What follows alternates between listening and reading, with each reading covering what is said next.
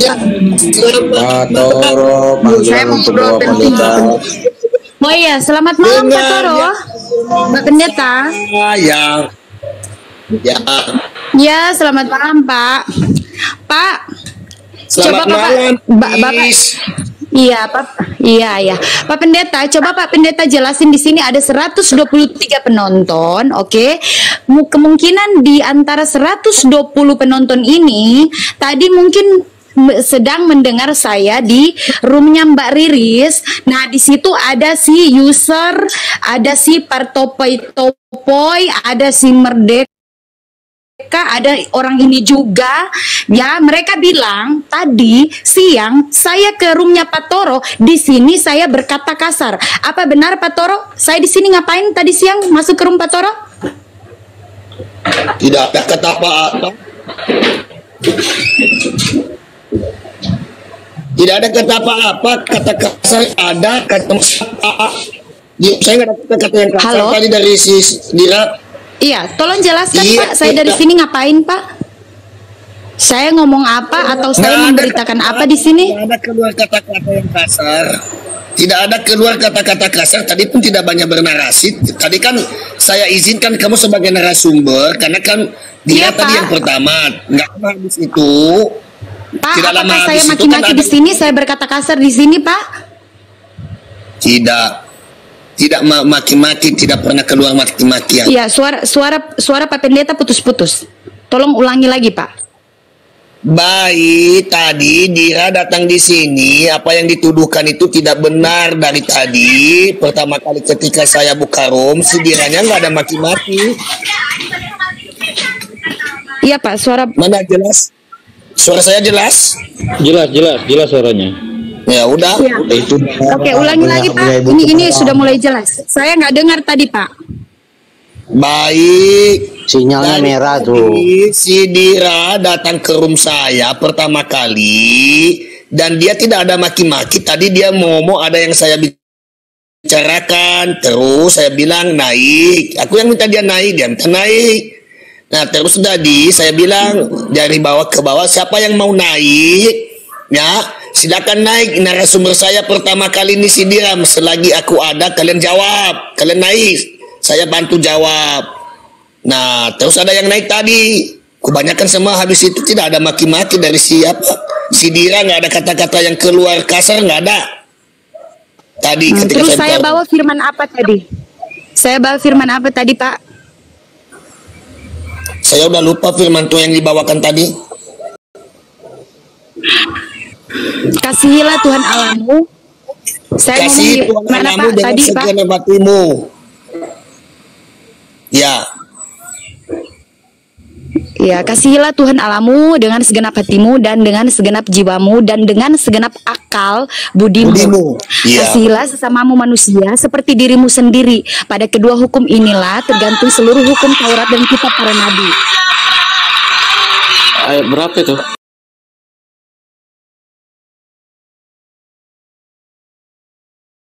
Nuduh saya menjatuhkan saya di roomnya Bunda Riris. Katanya saya di sini berkata kasar. Nggak tahu saya ngomong apa, saya maki-maki, saya berkata kasar terus langsung nggak jelas saya keluar. Katanya begitu. itu Islam ya yang menuduh itu. Itu Kristen, Kristen, Kristen, Kristen. Memang Siapa sekarang Pak, eh, memang sekarang banyak Pak. Orang-orang Kristen sekarang yang ada di TikTok yang sering bergabung di room diskusi yang tahu saya sering memfitnah, menjatuhkan saya, menjelekan saya. Bahkan tadi saya di roomnya Bunda Riri, saya memang berkata kasar. Saya sampai berkata kasar di situ karena apa? Mereka menuduh saya, memfitnah saya, menjatuhkan saya. Mereka mereka anti kepada saya karena saya katanya saya ini menca bertanya Alkitab kepada orang Muslim. Saya tidak pernah Mbak, yang saya pernah masuk di room Muslim. Silakan kalau ada yang kalian tahu datang ke sini. Apakah saya pernah bertanya di teman-teman Muslim tentang isi Alkitab artinya apa? Pemahaman Oke, Alkitab artinya begini, apa? Bisa- begini, saya begini, tidak pernah Dira. ya. Sebentar, Dira. sebentar, sebentar, saya emosi. Tidak, saya, saya, tidak juga pernah. tahu. Saya juga mau bicara ini sama kamu. Dengarin baik-baik dulu. Bentar, bentar, Ya. tunggu saya. Saya disalahkan gara-gara di sana di, di kalau saya approve katanya saya biarkan mereka menghujat. Eh, saya ini juga tahu. Ya, saya mute, di mute, mereka buka lagi, ngomong lagi, mereka buka lagi, ngomong lagi. Saya udah mute, udah mute nih. Kita kita kan host nih, kita udah mute nih. Mereka buka sendiri. Sampai saya pusing. Saya kalau ada yang ada yang nggak bisa diatur, saya rungkat roomnya saya rungkatkan. Saya bubarkan room. Cuman satu kali aja, saya biarin itu satu kali aja. Karena emang saya ngomong nggak bisa didengar, saya biarin. Itu mereka bilang saya membiarkan penghujat-penghujat dari Islam menghujat Tuhan kami Yesus Kristus di rumah saya. Sidik buka, eh, Ba- Abang Sidik itu buka Alkitab 1928. Saya kan nggak tahu saya tanya, loh Alkitab apa itu? Itu isinya kita orang Kristen sekarang tidak meng- mengimani kitab itu. Kita nggak tahu itu isi itu, isi ayat itu. Itu kitab su, kitab apa? Kitab palsu. Itu Saya, saya bertanya sama Bang Sidik, Bang itu kitab apa? Terus ada yang bilang gini, tadi di rumahnya Bang mm, mm, Mbak Riris bilang begini, nih biadab ini perempuan ini nih, nih malah dia nanya lagi kitab apa itu? Lah saya tanya kitab apa itu 1928? Saya kan nggak tahu wajar. Kita kan orang Kristen nggak mengimani kitab seperti itu yang di dalamnya penghujatan terhadap Yesus Kristus. kitab blogspot itu. Blogspot Jadi itu kalau begini belajar saling menguatkan, Buatan belajar saling Islam menguatkan. juga itu. Jangan bilang Islam penghujat, Kristen juga penghujat. Yang masuk ke rumah saya orang Kristen juga banyak Ya, yang belum. menghujat. Itu saja. Oke, Gimana terima kasih ya, Pak Pendeta. Saya turun dulu ya. Eh, jangan turun dulu, Dira sebentar. Jangan- ini iya, jangan perlu turun dulu, diluruskan. iya. Wah, Siapa siapa yang menghujat Kristen? Kristen Enggak. cuma bertanya. Jadi Oh, itulah. musik siapa itu? Jadi gini teman-teman, ya, ini masalah Dira. Kamu juga Dira kalau kamu dibawa dengarkan. Kamu memang salah di sini karena apa? Kamu memang kita lihat mempertanyakan Bible kepada penyesat. Mungkin saudara-saudara kau ini sayang sama kau. Tetapi cara mereka menyampaikan mungkin agak kesal. Kenapa kau lakukan itu? Ya, sayang kamu langsung turun. Saya juga, ya kemarin juga sampai saya bingung melihat kamu itu sampai saya typing di bawah. Kok kamu jadi begini? Kamu mengatakan bahwa mereka memelintir-melintir ayat Alkitab, tetapi kamu bertanya tentang Alkitab kepada penyesat itu. Jadi wajar para saudara kau ini sebenarnya ingin menasihatin Anda karena apa? Ingat ya, kisahnya si Ica dulu sempat jangan sampai terjadi seperti Anda. Dulu Ica juga loh, sampai ingin mereka jadikan sebagai alat ya untuk mengadu domba sesama kita Kristen loh. Mau baca. Tapi puji Tuhan karena kita serang terus si Ica supaya dia sadar artinya bukan karena kita benci bukan. Tapi biar dia sadar hati-hati loh. Mereka memberi puji-pujian kepada Anda sehingga Anda nanti rasa segan untuk menghalangi mereka menghujat agamamu. Jadi Anda juga jangan terus langsung baper. Mungkin saudara kamu ingin menasihatin kamu, tetapi kalau memang saudara kita tadi menasihatin kamu dengan kata agak sedikit nggak enak, ya memang mereka itu salah. Jangan begitu. Ya, kamu juga harus paham. Mungkin saudara kau ingin memastikan jangan sampai kau terpengaruh oleh si penyesat-penyesat itu karena kita memang telah melihat kamu bertanya Bible kepada si penyesat. Kita sudah lihat di roomnya Sinandar. Kita juga lihat kau di roomnya siapa? Si logika, si penyesat-penyesat itu. Kita wajar bertanya, ada apa dengan Anda gitu loh. Ya, jadi introspeksi diri dulu lah. Introspeksi Cari diri, tahu. jangan langsung marah-marah gitu loh. Intinya intinya bang cari koin bang. Itu bang tujuannya. Jadi Oh, Masya Allah. ya seperti Masya itu. Allah. Coba kalau ada koin. Selamat sore Bang. Bilar. Teman-temanku tidak boleh ngomong begitu sesama ke teman kita. Bukan Iya. itu tujuannya, tetapi kita kasih edukasi ke dia. Dan nanti juga saya kasih edukasi ke dia. Kalau dia mau ingin mendalami Alkitab, tanya kepada kita.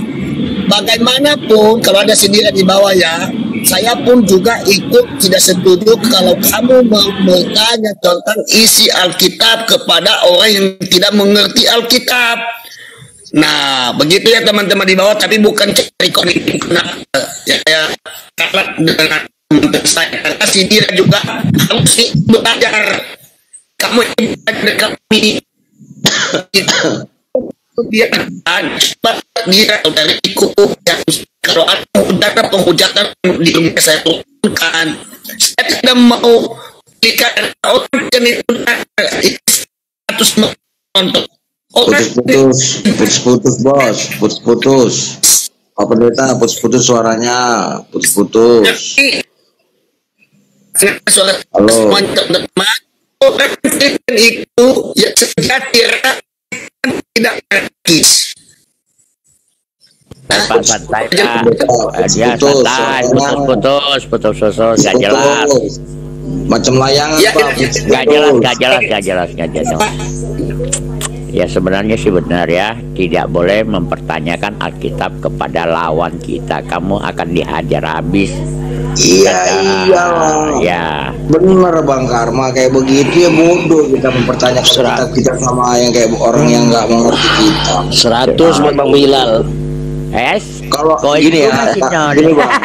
Bang, firman Dua, itu dua. Bang. Bayar. Bang, halo Ya, ya. Karma. Firman itu kalau nggak digoreng-goreng, nggak banyak koin yang masuk. Aduh, itu intinya. Karena Gitu. karena ada ada kalau mereka yang masuk maka akan ramai room itu. Betul, Nah, iya betul. betul. Tapi Kalau nggak itu begitu, salah. coba Tapi- bayangin kalau dapat satu k, dua k, apa tiga k, berapa coba satu hari dia Ya, tiga ratus ribu. Ya, ya betul betul. Ya, memang gitu.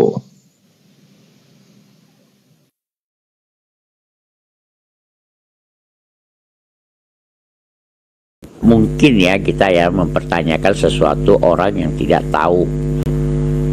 Ya, sangat tidak mungkin. Dan masalahnya begini loh bro, bukan kamu yang kita khawatirkan, tapi yang nonton, penonton yang kita khawatirkan. Ya, penonton. Benar gak? Kalau kamu sendiri sih gak apa-apa. Iya betul betul pak. Ya, ya.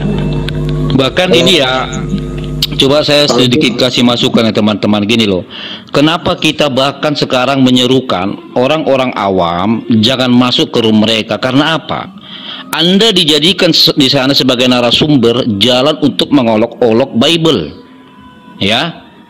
Makanya sering-sering saya bilang sama teman-teman, boleh Anda itu, tapi lihat dulu sejauh manakah kemampuan Anda. Jangan sampai senjata makan tuan. Kedua, ingat ya, ketika Anda masuk ke ranah TikTok bicara tentang firman Tuhan dan Anda mengaku Kristen, artinya kita ini bersaudara. Ketika Anda dinasehatin jangan tersinggung. Anda harus terima itu. Berarti di sini ada saling menguatkan, jangan baper. Betul, betul. Gitu loh. Jangan baper kita. Saya yakin teman-teman kita itu mungkin khawatir. Jangan sampai saudara saya ini masuk dalam lembah kesesatan. Hanya karena apa? Mulut licin daripada penyesat-penyesat itu. Gitu loh. Iya. Harus saling menguatkan kita. Saya aja udah saya bilang tadi Dira, kalau kamu masih di bawah Dira. Saya sampai komen di typing kamu loh. Ada apa dengan kamu? Apa Dira saya bilang? Kok kamu bertanya Bible kepada penyesat? Sampai saya bilang sama kamu, apakah kamu ini mau cari perhatian kah atau bagaimana? Itu tanda kita sayang sama Anda. Jangan sampai Anda terjebak dengan permainan mereka. Karena kita paham betul strategi mereka bagaimana.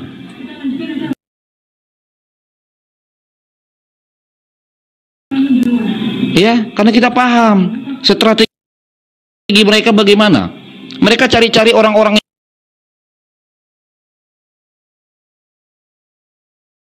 yang awam. Contoh macam si logika itu. Ya ada orang Kristen entah benar itu Kristen atau tidak. Dia mengatakan apa? Sama Kristen tuh. Saya bisa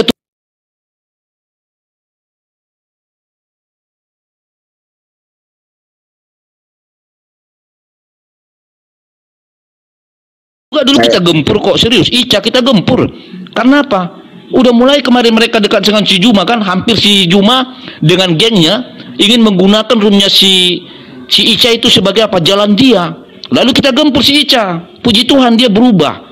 Bahkan sekarang dia sudah menjadi pendebat. Puji Tuhan toh. Betul, betul. begitu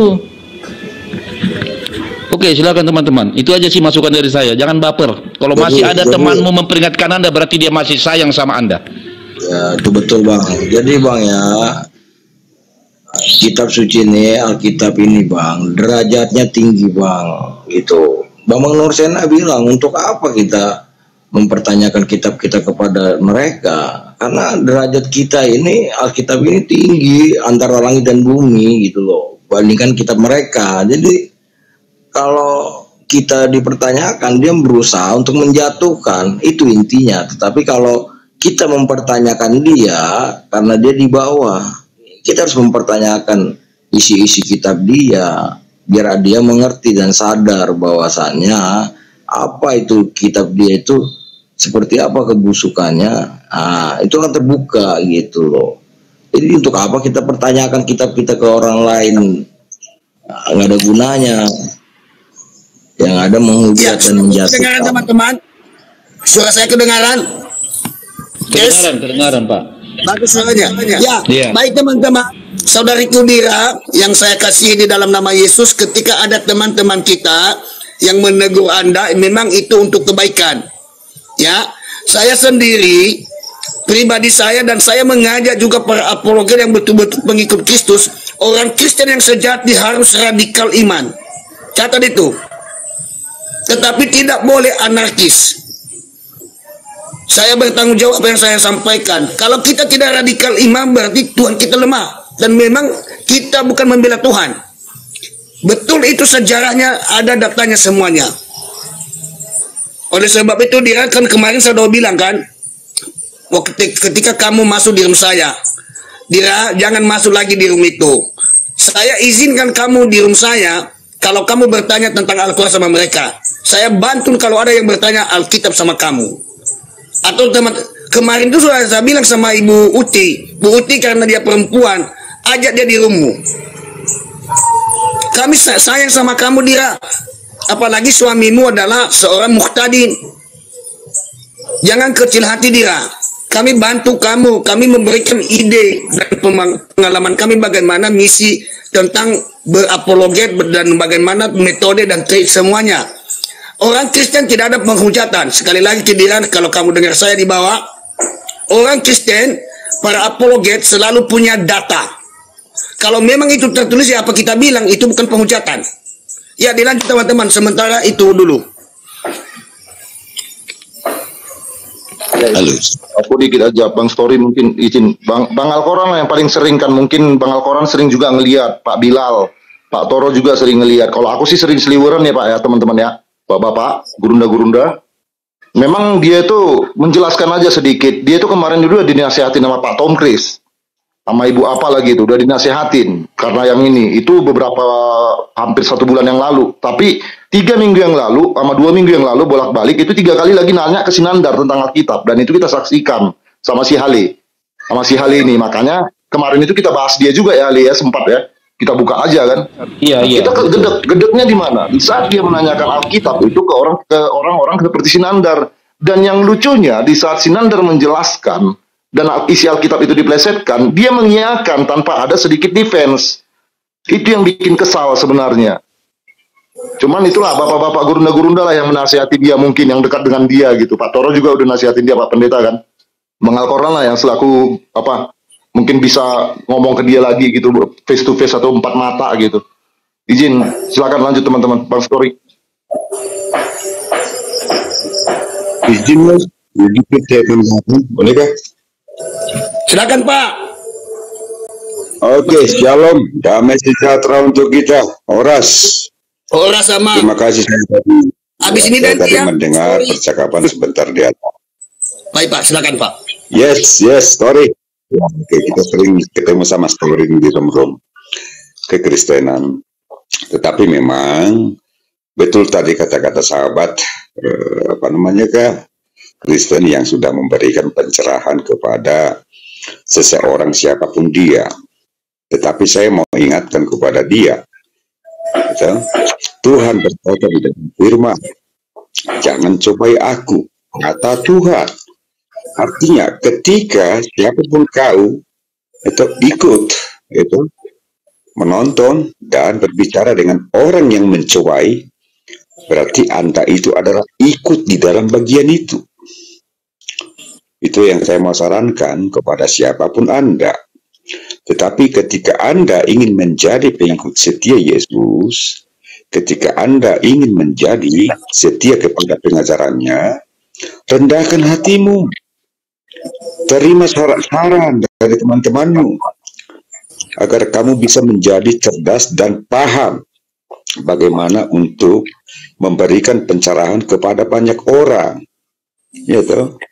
Artinya kalau kamu belum siap kuda-kuda untuk berdebat dengan RT 6 dan juga aliran Onces Maliki Mikana yang dikenal adalah antikris dan penyesat.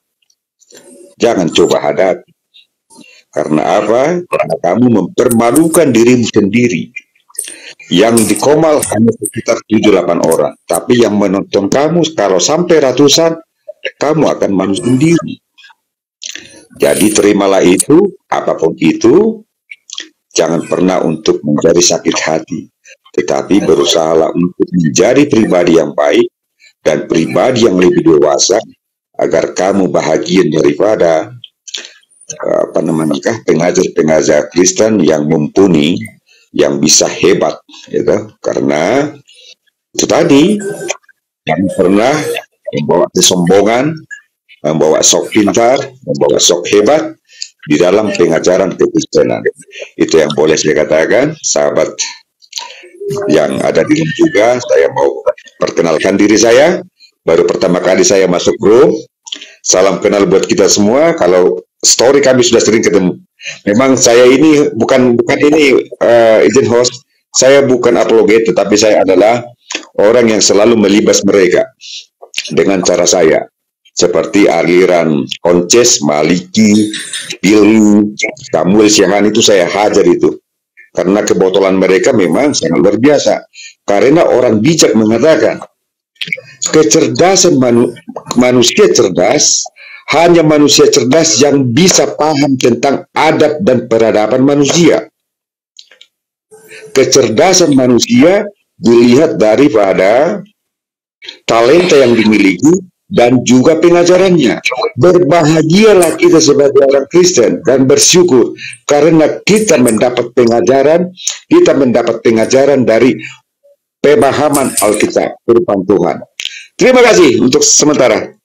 Lanjut kawan-kawan. Baik, silakan abangku story. Ya, makasih Pak Ben. Ya selamat sore semuanya. Ya, aduh ada si Billy itu bang, bang, bang, bang Istor. Dia Jadi beginilah ya.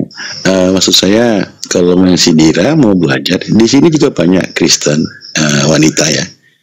Kami kami Chester itu kuat dalam pengajaran. Ke situ dulu lah Ya kalau laki-laki ke Pak Toro bisa langsung Pak Pendeta.